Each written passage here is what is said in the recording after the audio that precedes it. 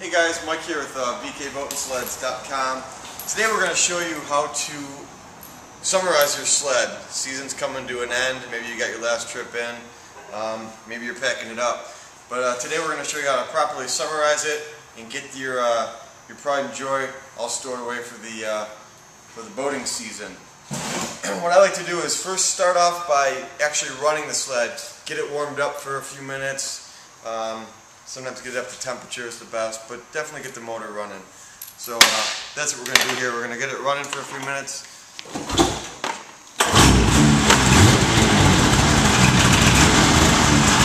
So after you got it running, warmed up, uh, the next step I like to do is drain the gas out of it.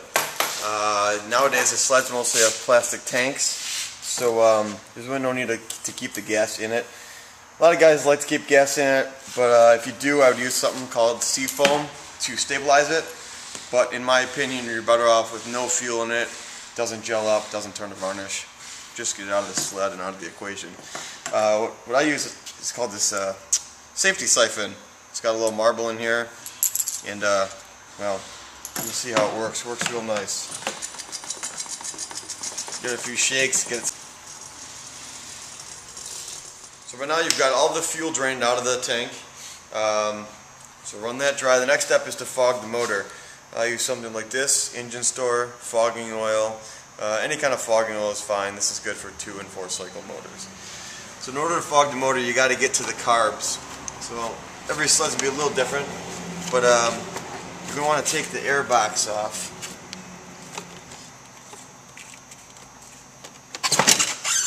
And this one's got a whole bunch of stuff connected to it. But I need to run the motor, so I'm going to kind of set it to the side here. And uh, start up your sled. And what I'm going to do is I'm going to, once I get the sled running, I'll let the fuel that's in the lines drain out. And once they're drained, I can, we'll turn the fuel valve off lastly. And then uh, we'll fog each cylinder and once the fuel that's in the carbs runs out, I will actually kill the motor on the fogging oil itself.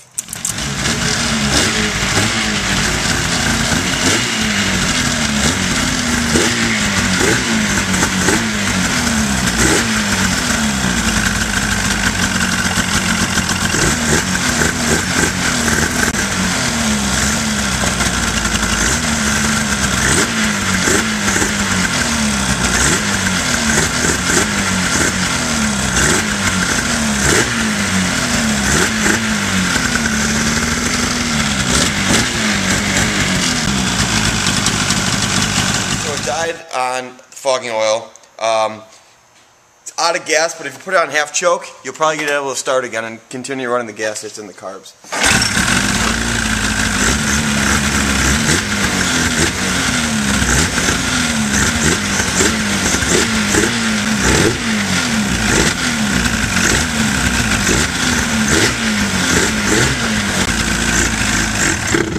So now you've got the motor fogged. Uh, the next step would be to, um, don't necessarily have to do this, but not a bad idea. Take both the plugs out.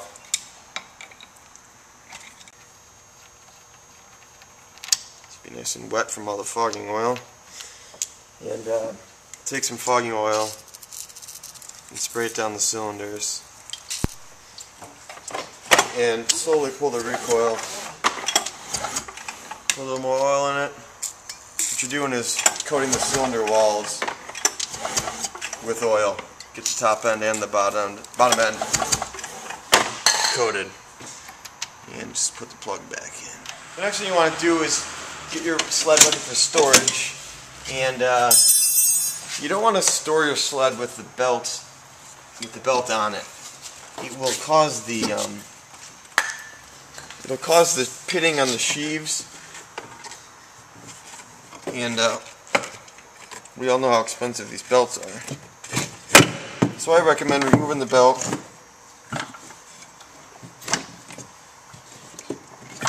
And you can just store it in here. But um, if you leave it on there, you'll notice next uh, winter when you pull the sled out, there'll be some pitting on there. And it doesn't hurt either. Spray some WD-40 on this. and the sheaves. And we'll also, uh, the better product to use and spray under, on all the electrical components and all the rubber boots would be a silicone spray. You could use WD-40, but a silicone spray is going to stay around a little longer and prevent some dry rotting.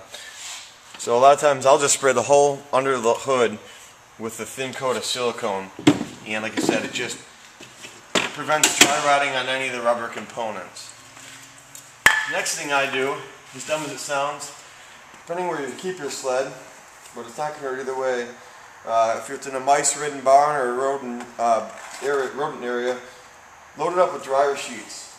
Uh, it's better than mothballs, doesn't smell, and it will keep um, mice and other rodents out. And the big problem with with those type uh, types of creatures living in here are chewing on all the wires. So I tuck them in anywhere where they can get in and where there's wires. Um, you don't need a ton of them, but my theory is they're cheap, so the more the better. You know, I'll tuck them in under here, so I'll put my cover on it. They'll stay in here. Put them in your trunk. Anywhere that they can build a nest. And the other, um, the other thing you can do is take some steel wool and uh, put it in your exhaust pipe along with one of these. And what it will do is it will stop rodents from climbing up your exhaust and making a home. Because once they're in there, it's real hard to get a nest out of your exhaust pipe, believe me.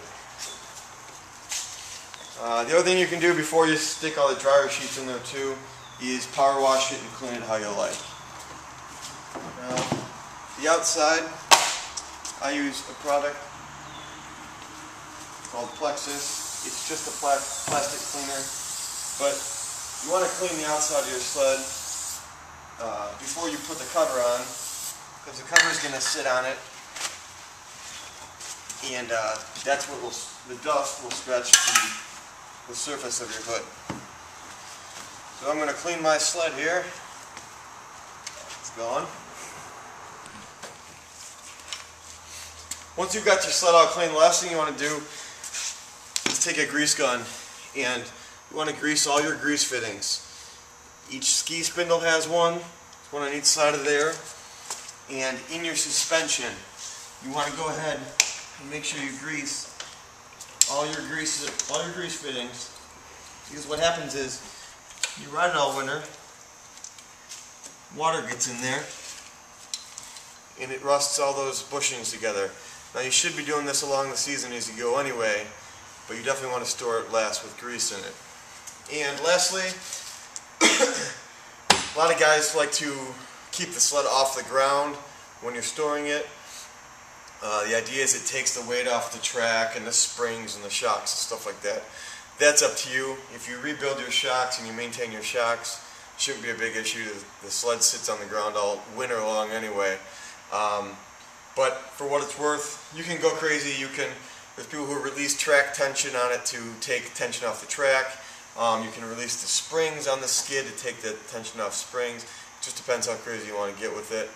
Um, but if you're Worst case, you can build a stand, use something like this, you can lift the sled off the ground, it takes the weight off the springs and, and the shocks, so it's not holding the weight of the sled all, all summer. And uh, store it inside, put a cover on it, and uh, should be set to go for next season. If we can help you out with any any of the fogging oil uh, parts, you know, a lot of guys change the Hyfax now. It's ready to go next season. Get it all serviced. Clean your clutches. Uh, my suggestion is don't oil the clutch. Uh, if you're going to use anything on the clutch, use WD-40. Oil just attracts belt dust and makes sandpaper inside your clutch. I know they make clutch oil, but um, I think it's the same people who make clutch kits. It's my it's a vicious circle. So I would just use WD-40, take the clutches apart, clean them, uh, clean your power valves, clean them now or clean them, at, you know, some guys do it now or in the beginning of the season. Uh, make sure everything's cleaned up and put it away and pull out boats and jet skis. we can help you out, 815-363-1254 or visit us online, www.bkboats.com. Thanks, guys.